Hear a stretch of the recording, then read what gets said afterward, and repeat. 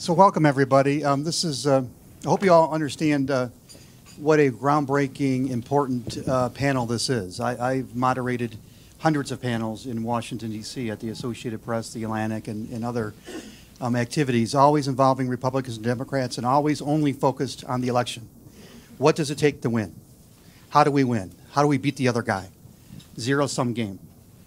This panel isn't about um, what does it take to have independents win, but once independents win, how do they govern? How can they change uh, the way we govern, or, govern, and how can they bring um, a better politics? Um, so uh, we got a little snap, a little snapshot of it from uh, Nick. Uh, now we're going to bring some life to it from um, this incredible panel. I thought we'd start everybody if we could. And by the way, I, I want everybody in the audience to know that we want to get your questions. If you have a question, even as it's going along, question pops in your mind, put your hand up. I'll, I'll acknowledge you, and then uh, when we get a break, I'll have you answer the, ask your questions even during the conversation. I would like this to be a conversation. So that means short questions, and it means, gentlemen and ladies, short answers. Okay, and feel free to interject with each other as well. So let's start going down the aisle. Why is he looking at me? I'm staring at you intently.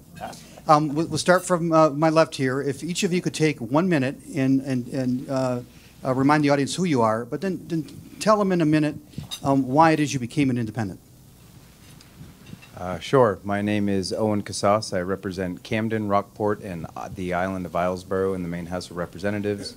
Um, I was elected in 2016. I ran in 2014 and lost, um, but ran again in 2016. Won with a dozen votes. Um, so, I mean, it, it is difficult to get elected as an independent when you're running against a machine, but um, definitely uh, the view from the top is nice. Um, so I'm a Marine Corps guy, construction worker, commercial fisherman, just a kind of normal person that tries to solve problems. Um, saw an opportunity to help out my community, help out my state by um, putting some of my efforts and skills towards some of that problem solving. And um, why am I an independent? I just always have been. Um, never registered for any party. Uh, like I said, I served in the Marine Corps. I didn't even vote until I think I was 25. And um, by the time it got to the question of would you like to register with a party, I realized I had a brain, worked relatively well, I can read. Um, and so I didn't think that I needed a party to help me um, figure out what decisions I wanted to make. You had a brain. That's, Is that a that's a lead so far. We got a politician with a brain. One for one. Keep it to a minute if you could. sir. Sure. I'm Jason Grenn. I serve in uh, Anchorage, Alaska. I ran for the first time in 2016. Uh, when I ran, I, I signed up on the deadline day. An hour before the deadline, I was a registered Republican at that time. Uh, I live in a, a Republican district. There was a Republican incumbent. Uh, that district ended up voting 55% for Trump. But when I decided to run for office, um, I, I found myself and many of my peers and many people, my neighbors, who just wanted solutions. And um, as someone who, who considered himself moderate, uh, I wanted to be able to go door to door, knowing that was going to be the only way I had a chance to win was talking to neighbors. I wanted to have a clean slate of conversations. People who wanted to ask me questions, I wanted to ask them questions. Uh, what it meant to be independent, uh, what I what I thought about certain issues, and it's it's a fantastic. I mean, I, I know everyone in this room can can speak to that, but um, I ran as an independent to open up the door to have just one-on-one conversations with neighbors and learn from them and hear from them and serve them um, both sides of the aisle without having to look at a party platform. Thank you. Thanks. I'll just stand up for this part because this chair is kind of sucking me in. So I'm, uh, I'm Marty Grohman. I'm an independent state representative uh, and candidate for U.S. Congress from Maine. And I can sum up my candidacy and why I'm an independent in just five words, which is uh, not a party line voter. And if you wanted to imagine a dream scenario for an independent running for statewide and national office, it would be this. More registered independents, an independent senator, a working House independent caucus, and ranked choice voting. We have all of those things and more going for us in Maine, and because of that, nobody says I'm a spoiler. Everybody says I'm a winner. I built a business by bringing people together, and that's what I do as an independent candidate every day. Thank you. Cheri Jahn, State Senator right here from Colorado. Served in the House for eight years, and then ran for the Senate um, in a primary, won, and served um, eight years, just finishing my last year in the Senate. And so I am term limited after 16 years. Um, I changed my affiliation, which many of you have already heard, from a Democrat to an unaffiliated. I was always very independent in my votes because that's just the right thing to do. But it has become so polarized, and um, I feel that the party had moved so far left, and I was so tired of fighting the battles of voting how I vote that I just said, you know what? I'm being disingenuous. I raised my kids to always, always be true to themselves. And here I was being dishonest. I am an unaffiliated, I'm independent, always have been. And I said, it's time that I serve out my last term as an independent, who I really, really am. And I want to work with everyone. So, thank you. Thank you. I probably don't need two microphones. Uh, Representative Laura Sibilia, I'm from Southern Vermont, and I've served two terms in the Vermont House. I'm running unopposed this time, finally, uh, for my third term this year.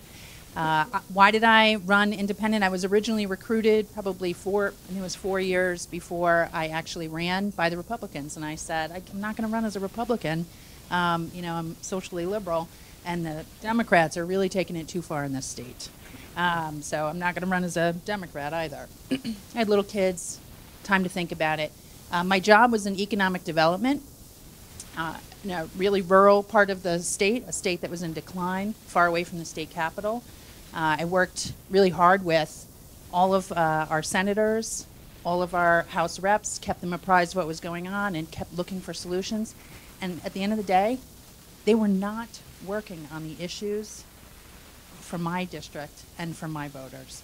And, you know, I ended up running as an independent to go and finally solve the problems in our district instead of the national partisan agendas. Thank you.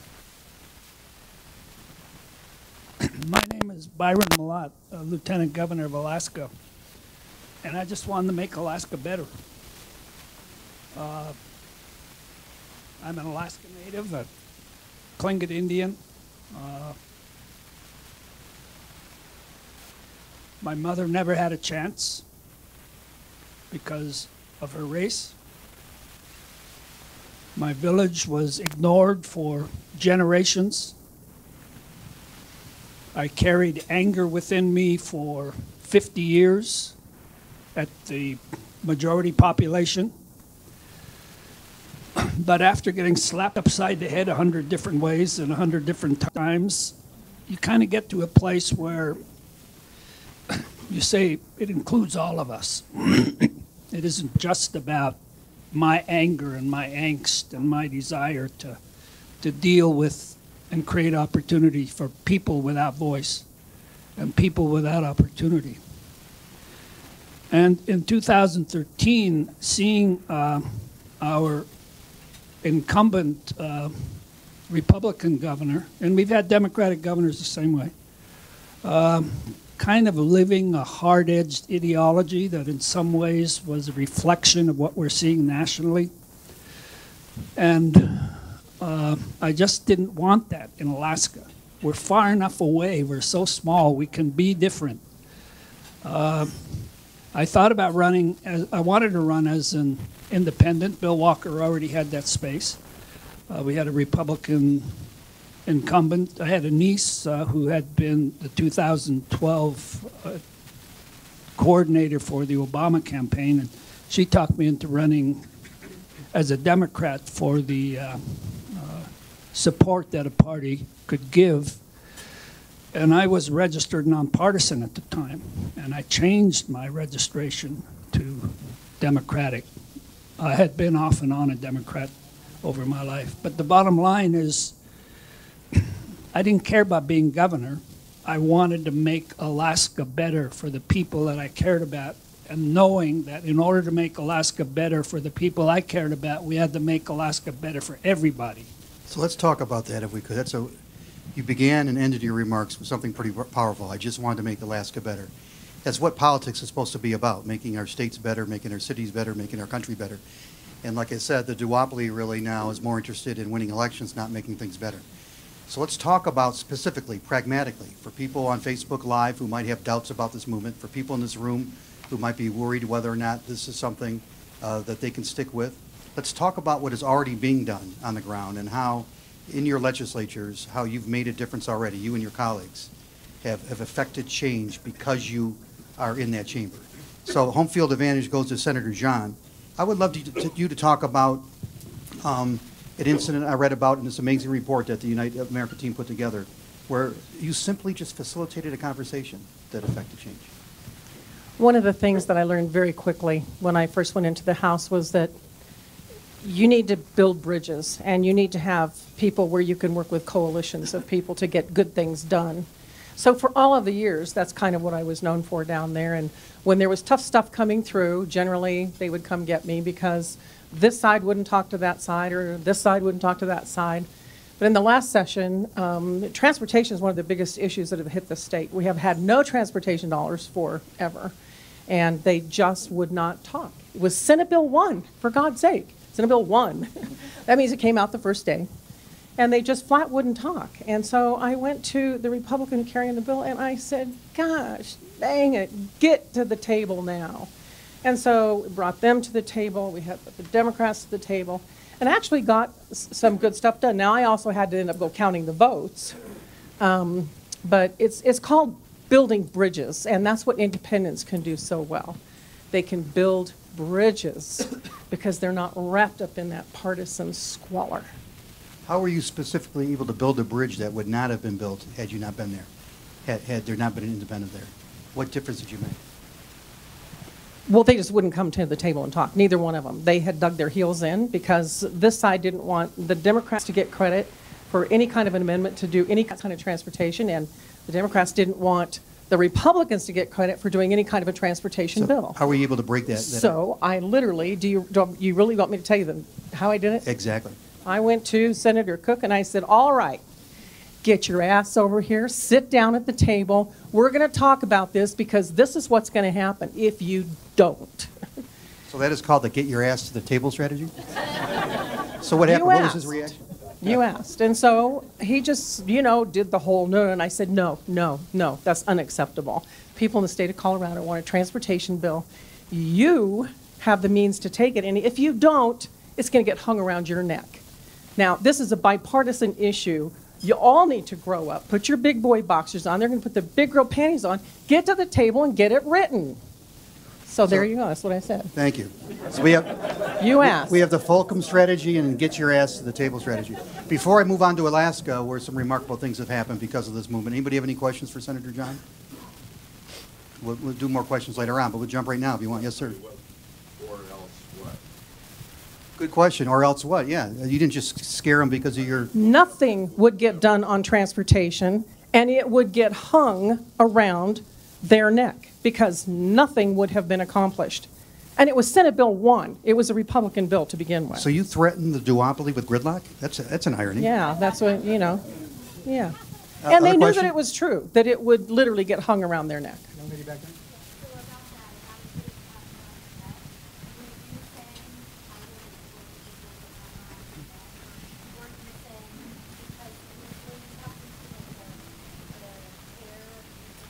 So the, the question is, did you literally say that you're going to hang this around your neck? Was it a threat? Well, it wasn't a threat. Right. It was, you know what? Everybody out there in the public is going to know because, of course, I'm going to say something because I think it's disgusting that you're not working together. And, you know, it's going to die, and the press is going to want to know why. And I'm going to tell them.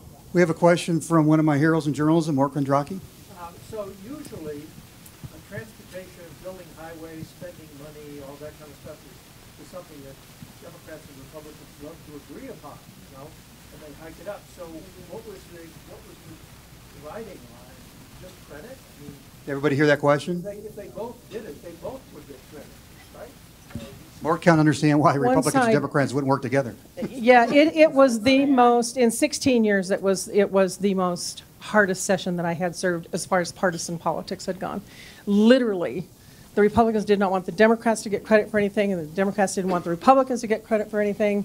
And uh, you're right, normally that's an issue for crying out loud. That is not a partisan issue.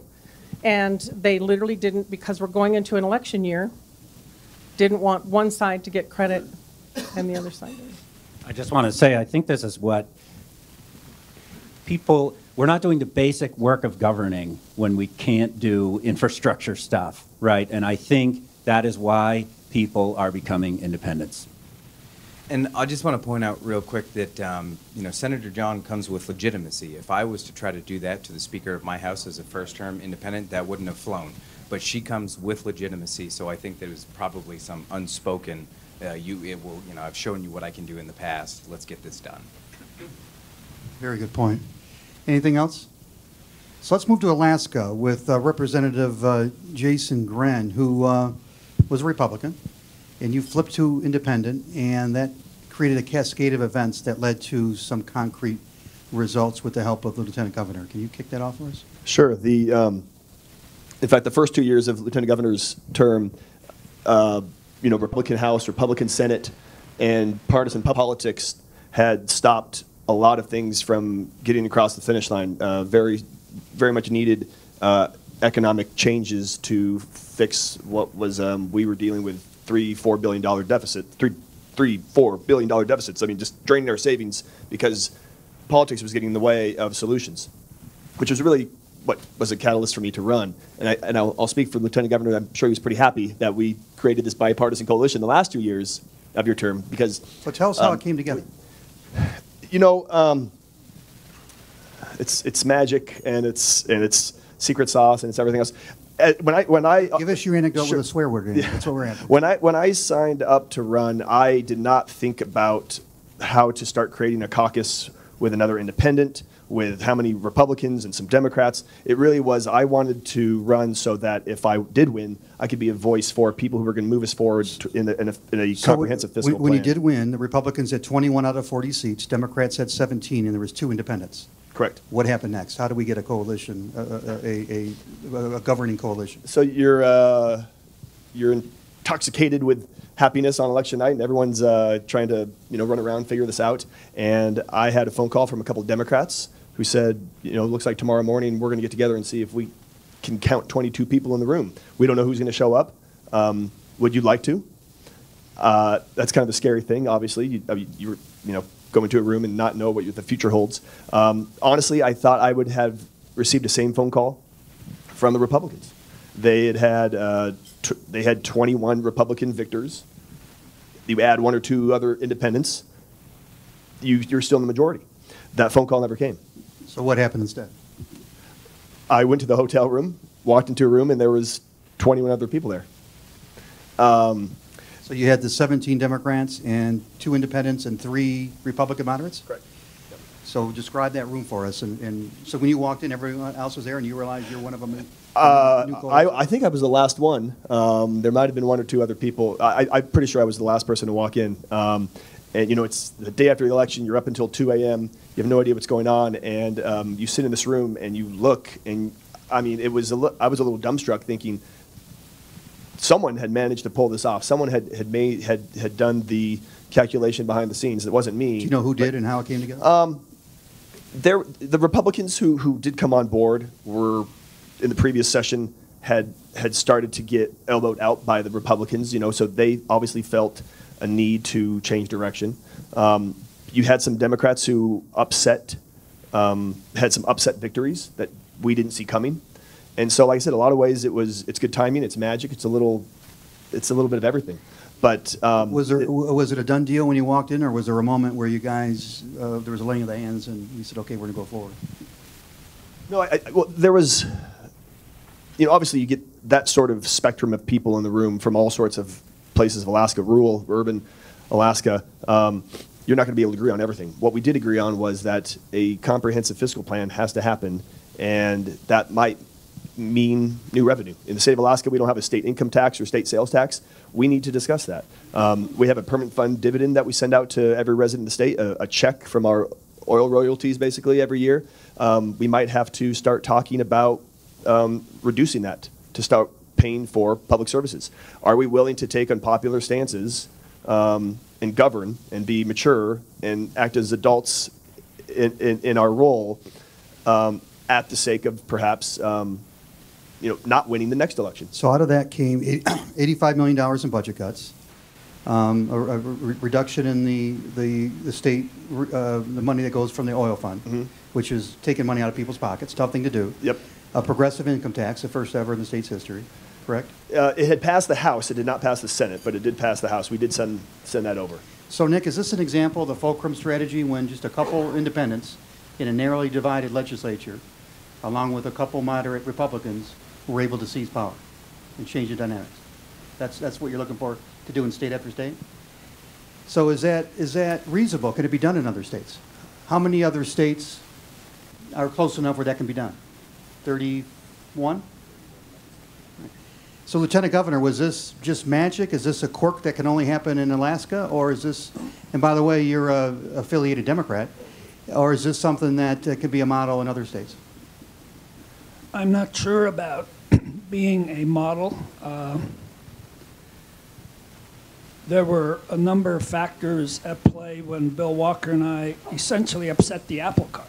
We literally did. There was a strong Republican majority in both houses. They were in, in clear alignment with the incumbent governor on a whole range of public policy issues, uh, including not accepting Medicaid expansion, uh, a, a very close working relationship with the oil industry, uh, uh, powerful lobbyists, and that's something to talk about at some point. Our lobbyists, it's just not legislators sitting there talking to one another. At least in Alaska, they're Well, what- powerful. what- Well, tell us how this coalition was able to push back on the power lobbyists in Well, Alaska. what happened was, I think, in some ways, our example as an independent team uh, helped. Uh, it was clear that the Republican majority, if re-elected, would take us in the same direction without change. Um, there was a reality facing us of a multi-billion dollar budget deficit. Um, the, there was in the general, no, in the primary election, an upset in rural Alaska where a long-serving Democrat was upset by a much, by virtually an unknown but popular at the time Democrat. And I think that sent a signal that change was in the air because that sitting Democrat had been a strong leader in the Republican uh, So coalition, Is it possible, let so- me interrupt if I could, is it possible to take us behind the scenes and, and give us a little blocking and tackling on how you and the governor were able to uh, exploit or, and/or work with this coalition to bring about um, uh, this, this four-bill package? 2016 was an expression of frustration in Alaska. It was an expression of what was going on nationally and which was happening nationally and seeming to be growing, not diminishing. It was a sense that we needed to deal with our fiscal circumstance. We were spending down uh, all of our all of our reserves. We did not have a direct role in creating the coalition. We certainly supported uh, the the uh, the the leadership lineup uh, and made that known. The coalition, the changes came from individuals who had been strong supporters of the Republican coalition, strong opponents of the governor and myself, and every single one of them lost.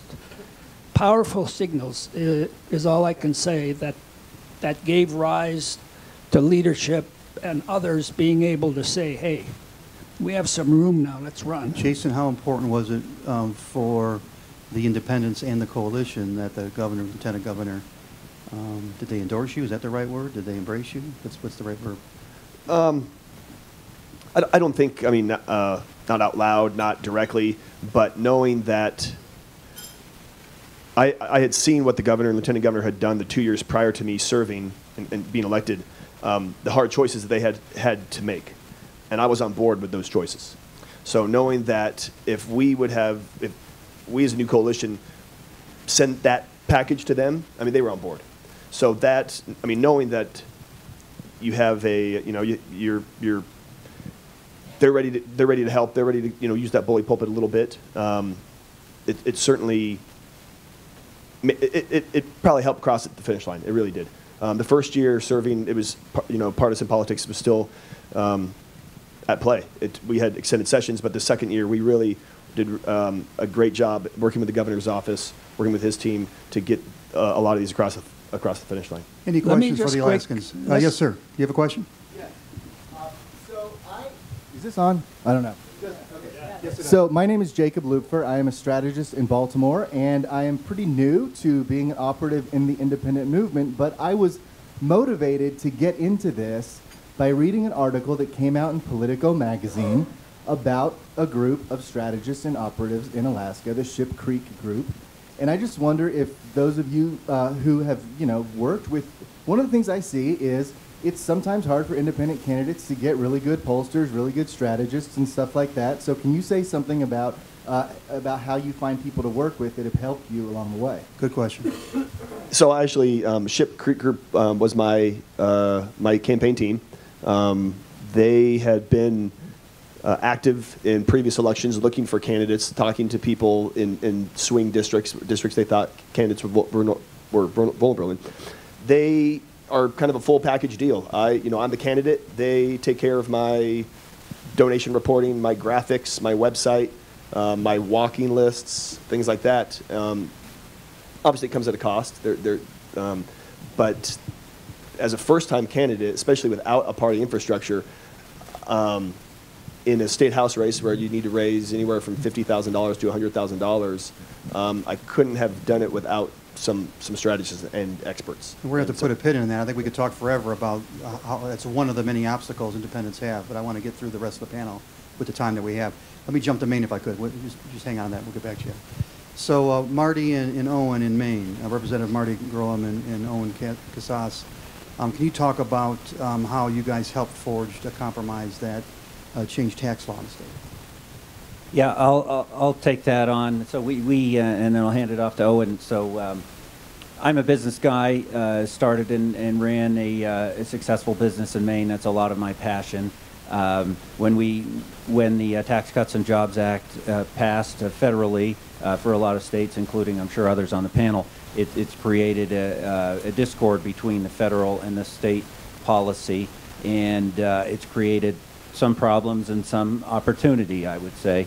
And, and our shorthand for uh, talking about that is uh, tax conformity, which uh, conformity is probably kind of a funny word for the independents to use. So what did you guys do to, to affect legislation? Let's get right to that. You know what? I essentially, together with the other uh, House independents, worked very hard. I think this is a point that we need to continue to make on this panel is, frankly, that I think everything is harder for us as independents. We have to drive harder, we have to knock harder, we have to fundraise harder, we have to push So what- harder. What did you do in this case? I called a lot of experienced tax lawyers and asked them what would be the right thing that's the best way forward for Maine. And I think the magic of the proposal that we made was, as they say about good legislation, there's something for everybody to hate. And uh, I think that's where we ultimately got. And I think, and, and uh, maybe you saw this here in Colorado too, is wh- when you when you pull together a proposal, it's something about being able to attack a proposal that's good, right? If, I, if, if it's not my idea, then I can tear it to pieces. And I, I kind of thought in this case it was a good role for the independents. Let's put this thing out here. We put it on a piece of paper. We frankly put it on a big poster. And, and look, you know, probably eight out of the 10 elements that we put in it were ultimately uh, before the House now. And, and that, I think, was a really good role for independents to play to find that middle ground. Yeah, and to um, just kind of, I mean, this this whole panel is about governing, right? And so you, the campaign's over. You got to figure out who the players are in this game and, and how to work them. And when the numbers changed in the House, the governor saw an opportunity to pass legislation. His veto allowed to stop legislation, but he needed numbers to pass legislation. So we kind of capitalized on an opportunity where the governor was intrigued by us and reached out. We knew we had to do tax conformity. So you start reaching out, you start having conversations. We met with his um, tax guy, Uh, he apparently came back to us next time and said, "Wow!" Reported back to the governor, "This is the best meeting we had had. It went horrible with the Republicans, and it's a Republican governor. It went not so well at all with the Democrats. So we're kind of inclined to work with you all." So from that, you still just continue to find those key players in the game. I'm not a tax guy. I'm not a small business owner to the same degree that Marty is. Marty was the the point nuts and bolts guy. But what the rest of us were doing, we're trying to tee up meetings for him. All right, so who's our next tick that we have to get? Okay, obviously we have to get the House Chair of the Taxation Committee is a Democrat. So let's set up a meeting with him, figure out what the Democrats are looking at here. All right, let's meet with the Republicans. What are they looking for? What are your go? What are your no-go things? What are your high priorities? And from that, we kind of let Marty and some of the other independents and all the things that he was just describing sketch out what we thought was something that was uh, stood a chance to pass, and we really met very little resistance from the governor, which is odd in our state. So again, uh, done a lot of these panels. How often do you hear somebody going through exactly how you govern uh, like that? It's pretty remarkable. Uh, before we get to Representative Sibilia, we have two questions. A gentleman here, and there's a gentleman back there. I will come to next. Yes, sir. If you can keep it short, please. You talked uh, earlier about how independent you leverage the caucus. So I'm interested in the dynamic of having a house in which uh, independent participators in the majority leveraging that with a different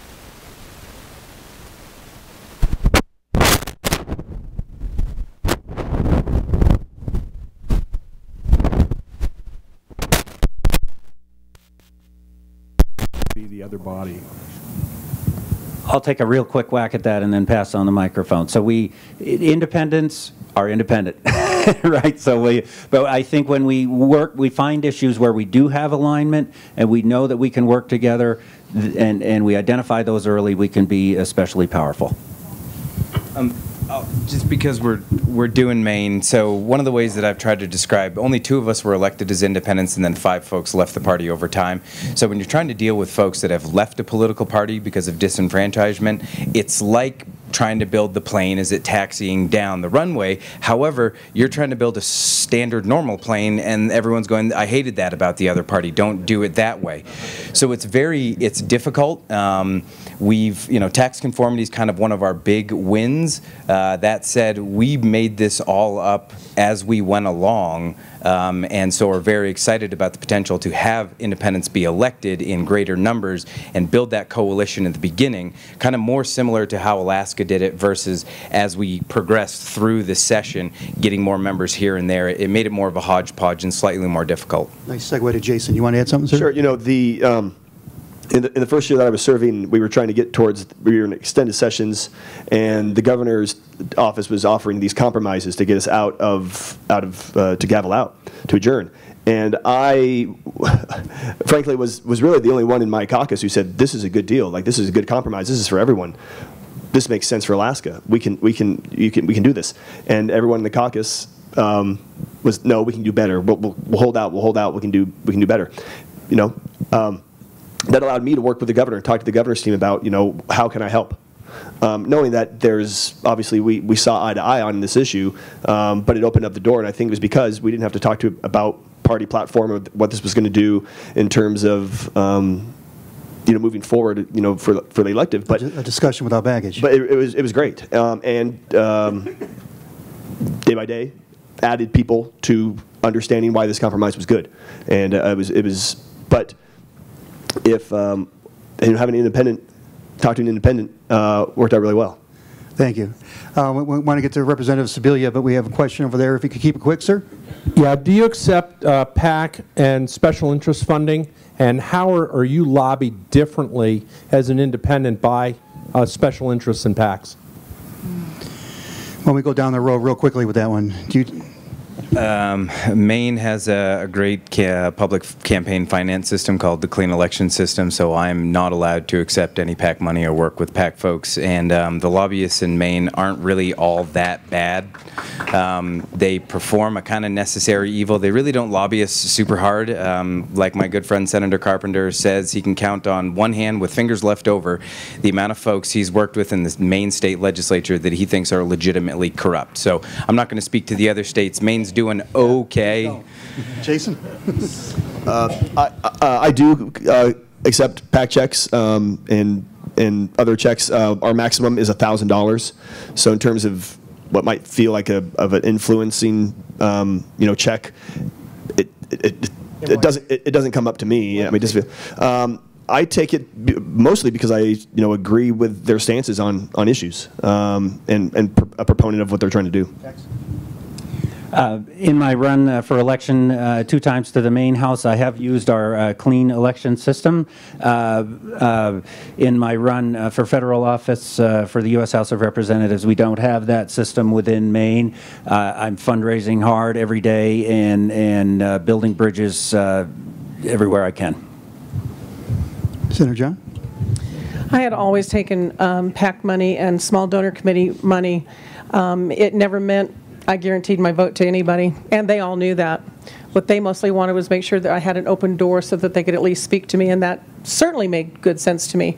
But I'll tell you what, I don't know how you run a campaign without doing it. My last race in 2014, just on my side to win, when my party turned their back on me and would not come help, try to figure that one out, we had to raise a million dollars on my side. The Republicans against me raised over a million dollars. So I don't even know how you do that and compete and get your message into these people's hands without using the funds that you can get a hold of. We're all big people. We can stand there and, and make our vote. We don't have to vote because somebody gave us money. That is, would be, that's just disgusting. Well, that's, uh, before we get to Representative Sibilia, that's a very good point. Uh, You can't win elections without money. Um, And you especially can't beat the duopoly without money. So that's something we could talk about an hour, for an hour. But we only have a few more minutes, and I would like to hear uh, your story in Vermont um, about what you, what you did um, that a Republican or Democrat could not have. Well, I will also say I do not take PAC money. Um, I have a very small district, uh, which I think allows me to do that. If I wanted to run for a statewide office, I would have to evaluate how that. Uh, I would have to really think about that.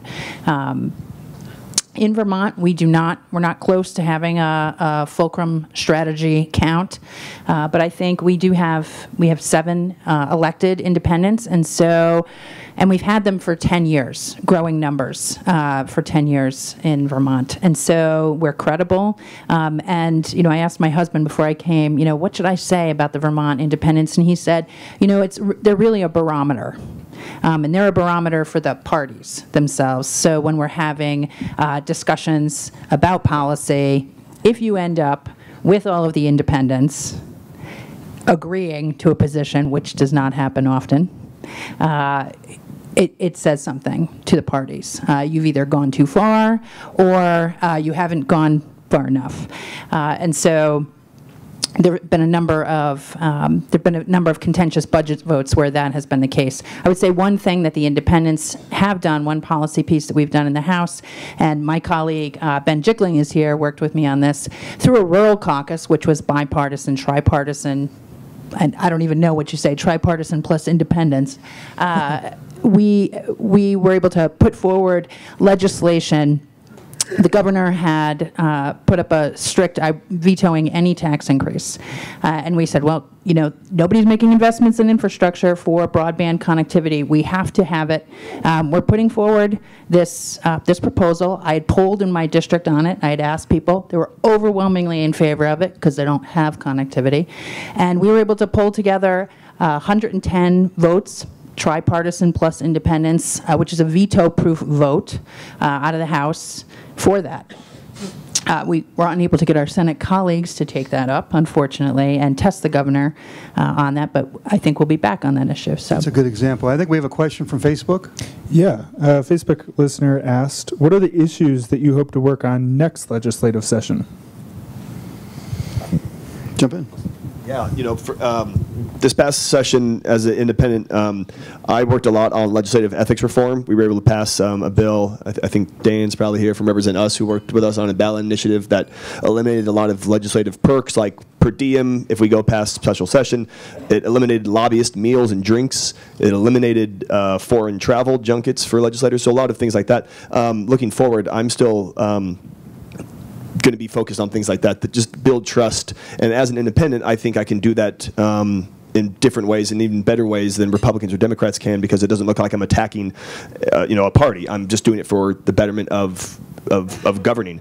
Um, so things like gerrymandering, think, you know, anything that is going to, uh, you know, create transparency and build trust um, in the legislative reform, um, I, I think independents can lead the way, and we're going to try that in Alaska. Any other next legislature plans you want to talk about? So I, I think a thing that's really exciting, what we're doing in the uh, Maine legislature now, obviously I'm, I'm, uh, I'm making the move to, uh, to Congress, right, ideally? Yes, I'm on my way. And, uh, but we are working every day, weekly calls with Representative Casas and other, we're building our bench. And I think it looks great for next session. And I think the independents are really going to be able to drive continued progress and just make things work more smoothly. I think looking federally, something this is, Can you get, can you give us an idea how big you think that bench might get? How, how you hoping to? We've got strong candidates running. Uh, you want to comment on that one, Owen? I just I, I think that you know there's the possibility of potentially eight folks being elected as independents between the incumbents and the new folks. Um, I mean, and when you talk about priorities, we could tick off uh, infrastructure, public education, Medicaid, oh, heroin and opioid epidemic, all those things. But for me, it really centers on functioning government. If you don't have a government that can function well together, then why even take up these big issues? The example I love to give is it dropped on party lines, exterior lighting on a historic building that was also a public safety building. That was a partisan, you know, I didn't understand why it was a partisan issue. It didn't make any sense to me at all. But it really was a great example of if we can't even figure out exterior lighting on our historic buildings, how are we going to figure out Medicaid expansion in any sort of comprehensive, coherent way? So for me, if we don't have functioning government, we really don't have much. I'd like to make a quick comment on governance, if I can, related to what we've discussed about, discussed, disgusted, some of that too, uh, about our state and what an independent governor can do. The last session prior to an election is typically a session in which people are focused on running. And we had conversations in our cabinet and among the governors and my policy advisors saying, well, we aren't going to get anything done this last session. Uh, that's just the way it's done. And the governor and I had never run for statewide office before, hardly run for office. We've been mayors. Uh, and we looked at one another and said, whoa. so the governor made a very strong state of the state speech. And including ethics and other things that uh, Representative Grenn has talked about. But he emphasized we're going to continue working until this is done. Uh, election be damned, essentially. Because the governor had called the legislature into special session uh, more times, I think, than any other governor ever has. Uh, and that threat was there. And I think that that was very important, where if a either party had been in office, I don't believe that that focus on getting it done in the last session prior to a major election would have happened. Thank you, sir. Representative Sibilia, you want to answer the question? It, it was really around policy initiatives for next year, and I have we we do have a third party in Vermont, Progressives, who are organized as a major party. We have a senator who's tried to do ranked choice voting for a number of terms, and I've talked with him, and we will try again, uh, introducing it in the House and in the Senate uh, next year, as well as we'll be back with connectivity. Do we have any, any questions out in the audience? We have about five more minutes. How much time do I have back there? Fi- Any more questions? Yes, sir. Even though it's not governance, you, you touched on the difficulty of financing campaigns particularly for independents. Do you have some other thoughts on that? What did he say? What was the question? I didn't hear the question. What was the question? You- Even though you didn't, this is not governing, but how do you finance your campaigns, particularly for independents, when you're facing the two A, that's a great question. Yeah, um, for me, as someone who was running for the first time without a party and maybe not understanding how much party support actually happens, um, it was very eye-opening. I just, you know, started calling friends, neighbors, your network, um, and then uh, once you're starting to get taken seriously, um, business leaders, um, community leaders. Uh, for me, that took about three months. I started in June, uh, started door knocking, doing all that. Come around Labor Day was when I actually started having um, some of those max donors from, from business leaders and important people who you know might be uh, worthy of an endorsement. Um, but it took time. It took it took hard work and it took a lot of time. Is money the biggest obstacle to independent races? So I would not be the person, I think, to talk about that because it's such a low dollar amount in Vermont. But I will say the first, my first campaign, it was friends and family. My second campaign, I actually got a lot of bipartisan support um, from other leaders in the state who said, you know what, you're doing a great job. We need, you know, competent legislators who are not, you know, who are willing to just come to the table. So I think clearly it's a major obstacle. I mean, we have things going for us in Maine. Maine is a cheap media mar market, and I think that's good. But I'm a, I look at it this way. Look, yes, it is harder for an independent to raise money. You don't have the party machine. You don't have the uh, the structure built up. It's almost as if you started a business completely on your own, or if you bought a franchise, right? You could look at it that way. Yeah. So you, you've, I'm, but I'm a startup guy. I'm an entrepreneur. I feel good about that, and I know that when I get there, I'm not going to have somebody putting me under their thumb telling me what to do.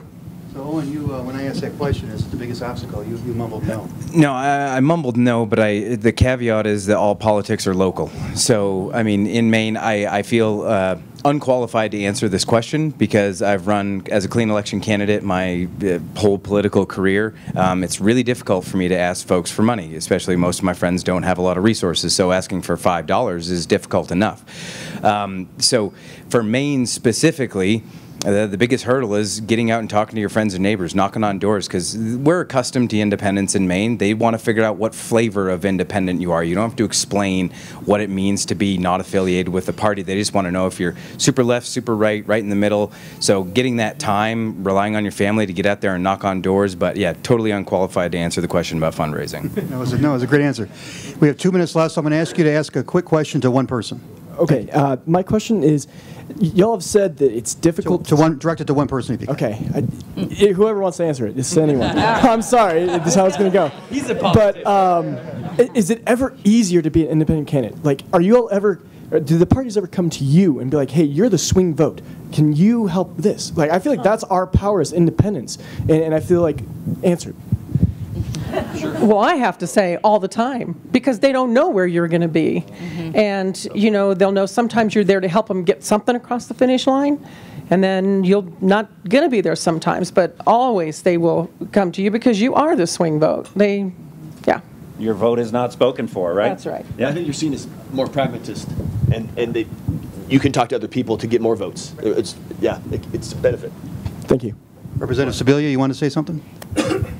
Yeah, I, I mean, I would say they, parties always come as, a, again, kind of that barometer, you know, like where are, where are you on this? And are we going to have a problem? So.